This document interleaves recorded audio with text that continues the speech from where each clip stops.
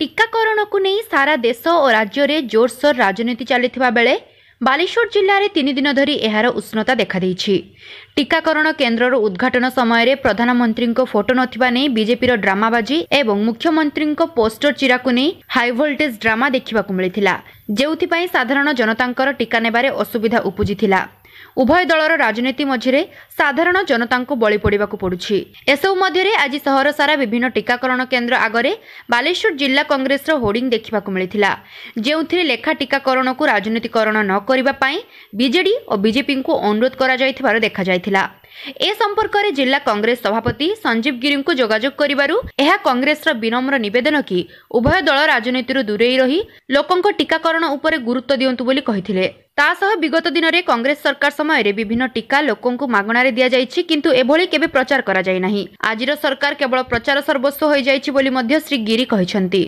Photo ରାଜନୀତି BJD ବିଜେପିର ଏ corona ମହାମାରୀ ସମୟରେ ଯେତେବେଳେ ସାରା ଭାରତବର୍ଷ ଏବଂ ଲୋକ ଜନସାଧାରଣ କରୋନା ମହାମାରୀ ସମୟରେ ପୋକମାଛି ଭଳି ମରୁଛନ୍ତି ଭ୍ୟାକ୍ସିନ୍ ଅଭାବରୁ ଏମାନେ ଭ୍ୟାକ୍ସିନ୍କୁ ନେଇ ଯେଉଁଭଳି ଫଟୋ ରାଜନୀତି କରୁଛନ୍ତି ଏହା ଅତ୍ୟନ୍ତ ନିନ୍ଦନୀୟ ଘଟଣା। କଂଗ୍ରେସ ସରକାର ବିଭିନ୍ନ ସମୟରେ ଅଠରଟି ଉର୍ଦ୍ଧ୍ୱ ଟୀକା ବାହାର କରିଛି। ଆପଣମାନେ ଜାଣିଥିବେ ଦୁଇହଜାର ବାରରେ ଡକ୍ଟର ମନମୋହନ ସିଂ ସରକାର ଥିଲାବେଳେ ଗୋଟେ ଦିନରେ ସତର କୋଟି ପୋଲିଓ ଟୀକା ଦିଆହେଇଥିଲା। କିନ୍ତୁ କେବେ ବି କଂଗ୍ରେସ ଦଳ ନିଜ ନେତାଙ୍କର କିମ୍ବା ପ୍ରଧାନମନ୍ତ୍ରୀଙ୍କର ଫଟୋ ମାରିକିରି ଏ ପ୍ରକାର ପ୍ରଚାର କରିନାହିଁ।